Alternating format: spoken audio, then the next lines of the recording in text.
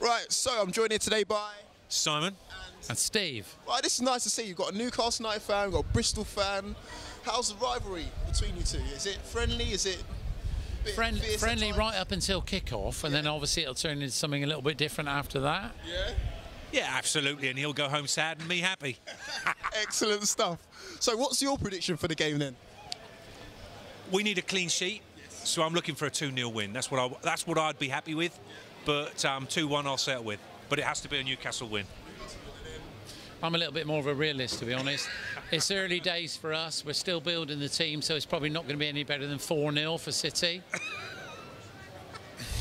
4 0! Well, yeah. Well, you've got to be optimistic, haven't you? Optimistic or deluded? You're, you're obviously wearing the wrong shirt, mate. So, you're saying 4 0. Who's the going to be there? Well, I, I, I think Tomlin's got, got to get a brace, and I think Tammy will be in there somewhere. It's going to be a good day for us, I think. And as a Newcastle United fan, sorry, I'll go to you. Yeah. What's the game plan for us? For us, I would have thought Bit, a bit biased on the interview, isn't it? Us?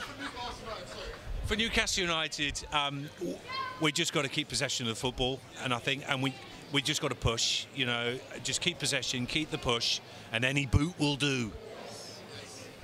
And sorry, I can see a lot of empathy go. He was he was nodding away far too much there for an unbiased interviewee. I know, I know, I know. Sorry, did, I was- I, I must introduce my brother-in-law.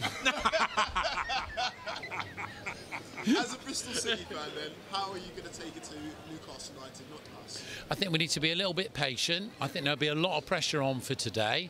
It's obviously our showcase game with the new ground and everything else. Beautiful, by the way. Beautiful. Thank you very much. Yeah. So I think we just need to be patient, keep possession, just look for the opportunities. So there we are. That's why I came to my prediction, to be honest. At least the bloke on the camera's nodding a lot, lot unlike you. You-